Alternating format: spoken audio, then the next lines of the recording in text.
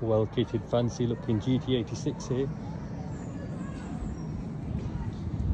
Quite a nice car.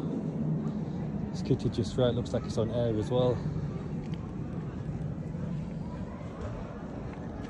That's fancy that is.